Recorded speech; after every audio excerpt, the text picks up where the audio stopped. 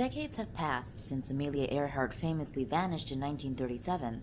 Now, scientists at Penn State University are analyzing a metal patch found on a small Pacific island in 1991 to determine if the piece belonged to Earhart's Lockheed Electra plane, which she was flying around the world when she disappeared.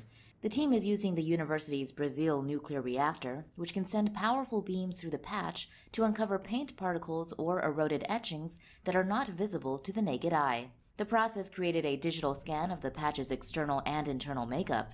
After examining the scans, the team identified axe marks along the edges of the panel, which they say were created in the 1930s, around the time Earhart's plane took flight.